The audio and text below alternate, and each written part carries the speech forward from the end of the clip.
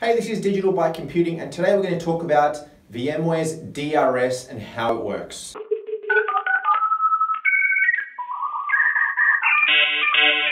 All right, so we've touched on vMotion, and we're now going to touch on DRS. So we did touch on that vMotion is a person manually moving a, a VM, which is this one here that we've moved, VM3.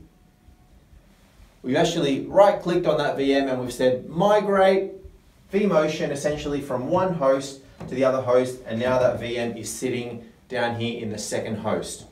You have to do that manually, all right? So that means that you have to be monitoring your hosts, monitoring the resources across your VMs. That can be a lot of overhead for monitoring those devices manually.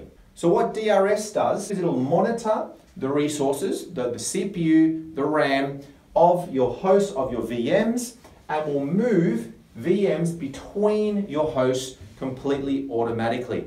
You've got a conservative and then an aggressive sort of threshold. So generally, if you have your threshold down low, it will only move things if it really needs to, right? If, if it's only a must sort of a thing. If it's more aggressive, it'll move it when there's more fluctuations. You know, if, if there is just a little bit more fluctuation, it'll move that VM just out of a precaution. So you set that gauge.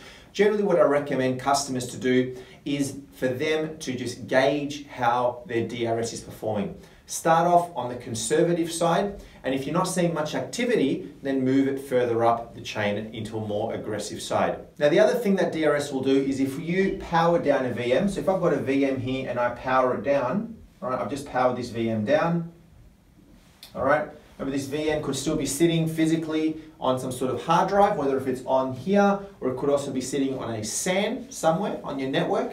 Once it's powered down, um, you power it back up it's going to ask you where do you want that VM to go. It's going to give you some recommendations as to where the VM should sit. So it may say you can go into VM1, into host 1 or into host 2 based on some predetermined uh, rules that you've got in your DRS. So I'd love for you to comment if you found this video helpful, comment below and like this video. I would love to hear your feedback and it also helps me build my channel also and let me know what you think. We'll talk to you next time. So if you found that video helpful, please like it and subscribe to my channel Digital Byte Computing just on the button there for more videos.